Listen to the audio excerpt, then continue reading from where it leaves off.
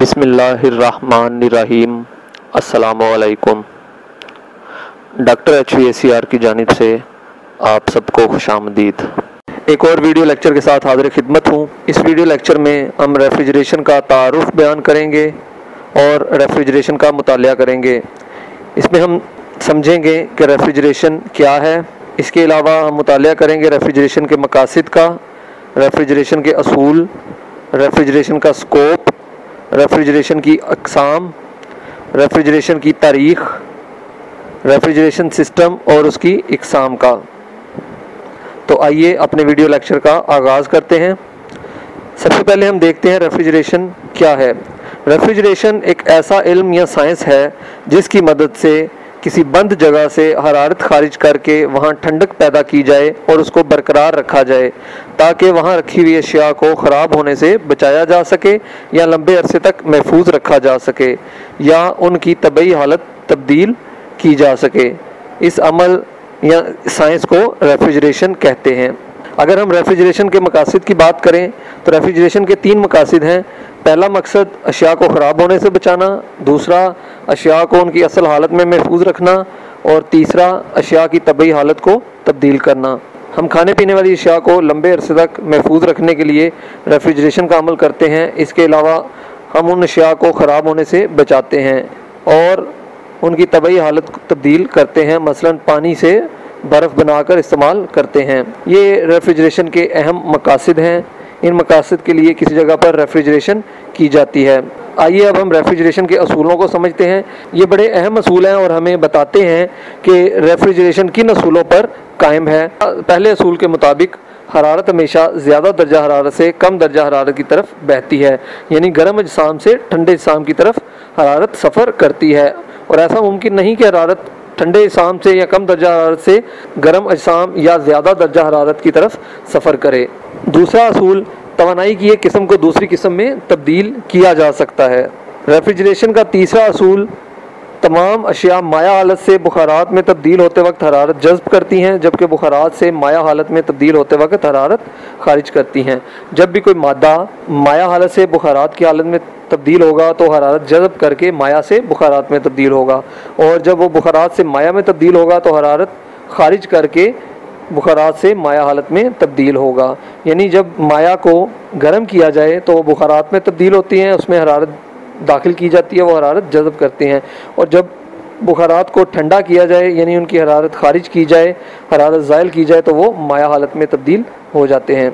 Number چار، اشیاء کی حالت کی تبدیلی کے دوران ان کا درجہ حرارت تبدیل نہیں ہوتا، بلکہ درجہ حرارت یکساں رہتا ہے، صرف ان کی حالت تبدیل ہوتی ہے۔ نمبر پانچ، ریفریجریشن کے عمل کے لیے ایسے دھاتی مٹیریل استعمال کیے جاتے ہیں جو حرارت کے اچھے موصل ہوں۔ اگر حرارت کے اچھے موصل بطور مٹیریل استعمال نہیں کیے جائیں گے تو حرارت سفر کے دوران یا حرارت ایک جگہ سے دوسری جگہ منتقلی کے دوران راستے میں بہت سی حرارت ضائع ہو جائے گی۔ اس طرح سسٹم کی کارکردگی کم ہو جاتی ہے یا ختم ہو جاتی ہے۔ لہٰذا ایسے مٹیریلز کا انتخاب کرنا چاہیے جو حرارت کے اچھے موصل ہوں۔ ریفریجریشن کا سکوپ سکوپ سے مراد ایسی جگہ ہیں جہاں پر ریفریجریشن کو استعمال کیا جا سکتا ہے۔ تو اگر ہم اپنی روزمرہ کی زندگی کا مشاہدہ کریں تو ہماری زندگی کا ہر میدان ریفریجریشن سے بھرا پڑا ہے۔ ہماری زندگی کے ہر میدان میں، ہر جگہ پہ، ہر کام میں ریفریجریشن کا عمل دخل ہے۔ تو آئیے اب دیکھتے ہیں کہ ریفریجریشن کہاں کہاں استعمال ہوتی ہے یا ریفریجریشن کا سکوپ کہاں کہاں ہے۔ تو جیسے ابھی ہم نے بیان کیا کہ ریفریجریشن کا سکوپ ہر فیلڈ ہر انڈسٹری میں ہے۔ چند چیدہ چیدہ انڈسٹریز یہ ہیں۔ Chemical industry ice factory textile industry مشروبات کی industry hotel restaurant air conditioning گھریلو مصنوعات، وغیرہ وغیرہ۔ یہ تمام انڈسٹریز ایسی انڈسٹریز ہیں، یا اس کے علاوہ اور بہت ساری ایسی انڈسٹریز ہیں، بہت ساری ایسی صنعتیں ہیں، بہت سارے ایسے ڈپارٹمنٹس ہیں جہاں پر ریفریجریشن کا عمل دخل ہے۔ اب ہم بات کرتے ہیں ریفریجریشن کی اقسام کی۔ ریفریجریشن کو بنیادی طور پر ان اقسام میں تقسیم کیا جا سکتا ہے۔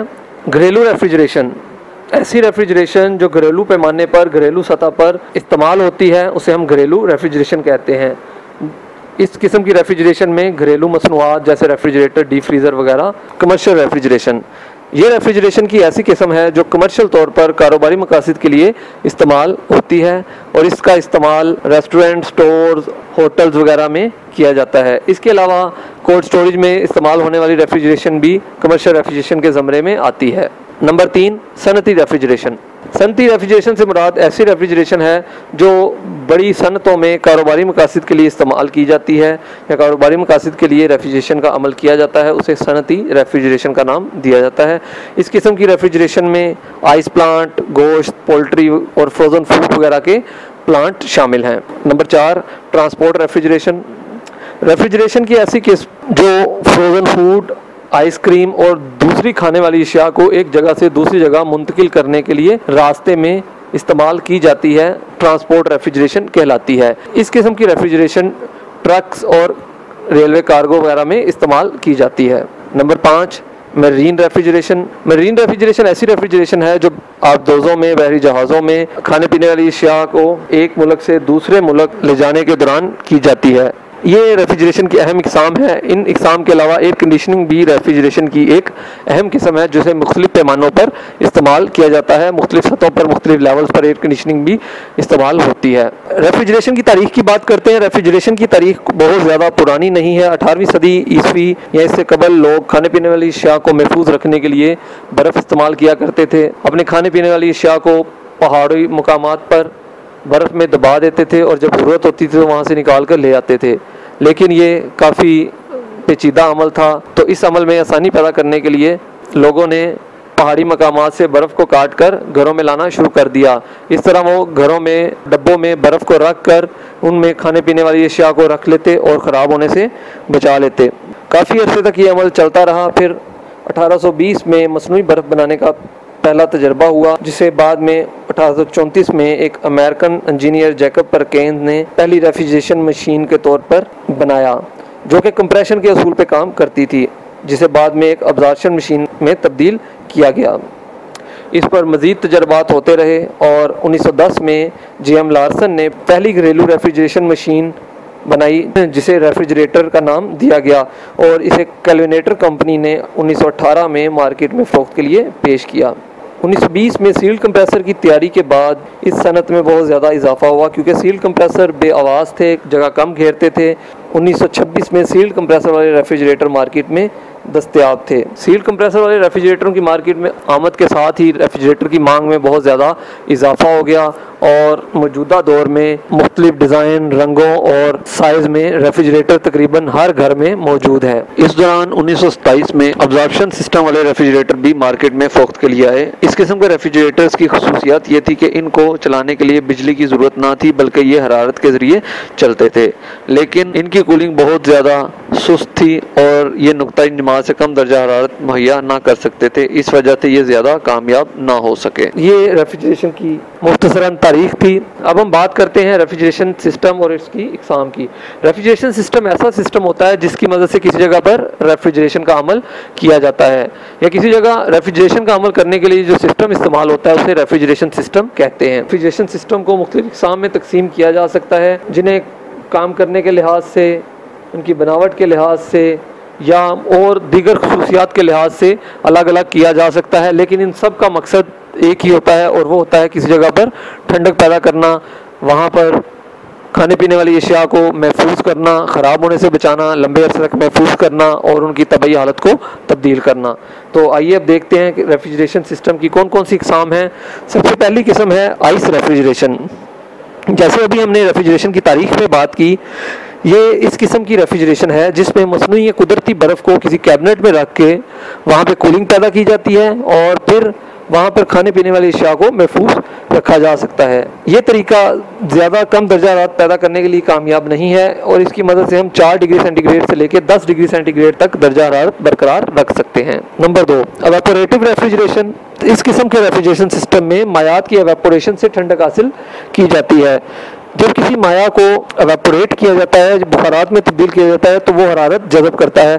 جس کے نتیجے میں جس جگہ پر مایا ایواپوریٹ ہوتا ہے، وہاں سے حرارت جذب کر لیتا ہے اور نتیجتاً وہاں پر ٹھنڈک چھوڑ دیتا ہے۔ اس طرح وہاں ٹھنڈک پیدا ہو جاتی ہے اور ریفریجریشن کا عمل کیا جاتا ہے۔ نمبر تین vapour compression refrigeration system vapour compression refrigeration system ایسا ریفریجریشن سسٹم ہے جس میں ریفریجرنٹ کے بخارات کا دباؤ بڑھا کر اسے مختلف حالتوں سے گزار کر درجہ حرارت اور حالت کو تبدیل کر کے کولنگ پیدا کی جاتی ہے اور حرارت کو ایک جگہ سے جذب کیا جاتا ہے اور دوسری جگہ لے جا کے خارج کر دیا جاتا ہے۔ اس قسم کی ریفریجریشن کے لیے ایک مکمل ریفریجریشن سسٹم استعمال کیا جاتا ہے۔ نمبر چار، absorption refrigeration system. Absorption system ایسا سسٹم ہے جو جاذبیت کے اصول پہ کام کرتا ہے۔ اس میں دو کیمیکل، دو مادے استعمال ہوتے ہیں، ایک مادہ یا ایک کیمیکل دوسرے کیمیکل میں جذب ہونے کی یا ایک کیمیکل دوسرے کیمیکل کو جذب کرنے کی صلاحیت رکھتا ہے۔ اس طرح یہ ایک دوسرے میں جذب ہو کر ایک جگہ سے حرارت کو جذب کرتے ہیں، دوسری جگہ حرارت خارج کر دیتے ہیں اور ریفریجریشن کرنے کا باعث بنتے ہیں۔ ریفریجریشن سسٹم کی پانچویں اہم قسم سٹیم جیٹ ریفریجریشن سسٹم ہے۔ اگر کسی طریقے یا ذریعے سے پانی کی سطح پر دباؤ کم کر دیا جائے، تو پانی کا بوائلنگ پوائنٹ بھی کم ہو جاتا ہے۔ سٹیم جیٹ سسٹم بھی اسی اصول پہ کام کرتا ہے۔ ہائی پریشر سٹیم کو باریک نوزل کی مدد سے پانی کی سطح کے اوپر سے گزارا جاتا ہے، تو پانی کی سطح کے اوپر موجود ہوا کے دباؤ میں کمی واقع ہو جاتی ہے۔ اور اس طرح جب اس پانی کو کسی گرم جگہ پر لے جایا جاتا ہے، تو فوری طور پہ وہاں پہ موجود حرارت کو جذب کرتا ہے اور بخارات میں تبدیل ہو جاتا ہے نتیجہ وہاں پر کولنگ پیدا ہو جاتی ہے۔ اس طریقے سے ریفریجریشن کی جاتی ہے۔ ریفریجریشن سسٹم کی چھٹی اہم قسم ہے کیمیکل ریفریجریشن یا اوپن سائیکل ریفریجریشن۔ اس قسم کے ریفریجریشن سسٹم میں کسی بند سیل جگہ پر مایا نائٹروجن کو سپرے کروایا جاتا ہے یا مایا نائٹروجن کو وہاں پر موجود ٹیوبوں میں سے گزارا جاتا ہے۔ اس طرح اس جگہ پر کولنگ کا عمل کیا جاتا ہے۔ ریفریجریشن سسٹم کی ساتویں اہم قسم تھرمو الیکٹرک ریفریجریشن سسٹم، اسے تھرمو کپل سسٹم بھی کہتے ہیں۔